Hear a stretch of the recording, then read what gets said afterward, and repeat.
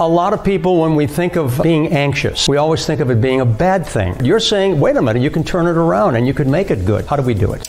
Absolutely. Well, one of my favorite ways to make it good is a technique from my book, Nervous Energy Harness the Power of Your Anxiety. And the technique is called the mental shortlist. So, what we ah. do in that particular technique, there's two ways to do it. The first okay. is if you have a kind of a dead end topic that you just keep rehashing in your mind, yeah, you have to sure. realize it's actually a good thing that you have that extra mental mental energy. We just want to point it in the right direction. So we give you a good mental shortlist. We think of five things in advance that we know are okay. good uses of your mental energy. Okay. It could be anything from what you're going to do with your spouse this weekend to something that you need to do for work to catching up on your holiday and birthday shopping. But you have five things in advance so that when you have that extra mental energy, instead of wasting it on a dead end topic, you point it at something that's going to actually help you. That's one good way to use it.